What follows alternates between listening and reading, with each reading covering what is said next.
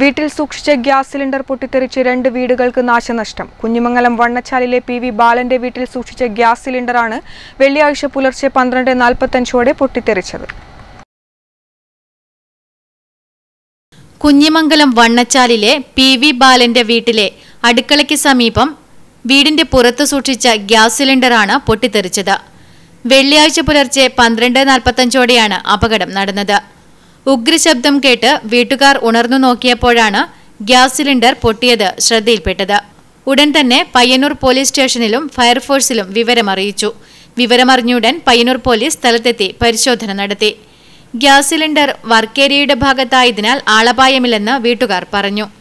ഇന്നലെ രാത്രി ഒരു പന്ത്രണ്ട് മുക്കാൽ പന്ത്രണ്ട് അമ്പതാകുമ്പോൾ ഒരു ഭയാനകമായ ശബ്ദത്തോടു കൂടി ശബ്ദം കേട്ടിട്ട് നമ്മൾ പുറത്തിറങ്ങി വന്ന് നോക്കിയത്.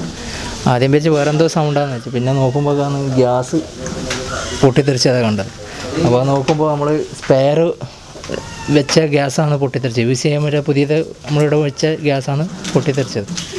അങ്ങനെ കുറേ ജനങ്ങളുടെ കുറേ നാശനഷ്ടങ്ങൾ വീടിന്റെ വീടെല്ലാം മൊത്തം ഈ എല്ലാ കാര്യങ്ങളും നശി നശി- നശിച്ചിട്ടുണ്ട്. അതുപോലെ തൊട്ടപ്പുറത്തെ വീട്ടിലും അതേപോലെ നാശനഷ്ടങ്ങൾ ഉണ്ടായിട്ടുണ്ട്.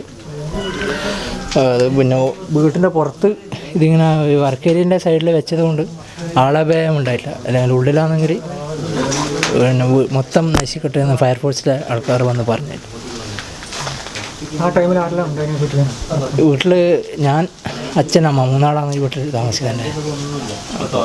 പിന്നെ എല്ലാവരും കൂടി വന്ന് അപകടത്തിൽ വീടിന്റെ അടുക്കള പൂർണമായി തകർന്നിട്ടുണ്ട്. സമീപത്തെ പി പി പവിത്രന്റെ വീടിന്റെ ജനൽ ചില്ലുകൾ മുഴുവനായും തകർന്നു വീണു. പഞ്ചായത്ത് പ്രസിഡന്റ് എ പ്രാർത്ഥന ജില്ലാ പഞ്ചായത്ത് അംഗം C P Shiju block panchayat അംഗം എം വി ദീപു വില്ലേജ് അധികൃതർ മുൻ M L A T V Rajesh തുടങ്ങിയവർ സ്ഥലം സന്ദർശിച്ചു. News bureau Pilathara.